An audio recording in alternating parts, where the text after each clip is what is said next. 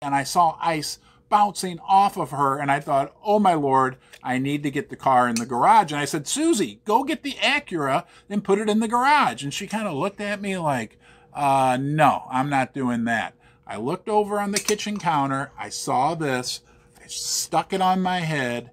I opened the kitchen door. I ran out. And at that time, the hail got even bigger. I'm talking almost golf ball, maybe baseball size.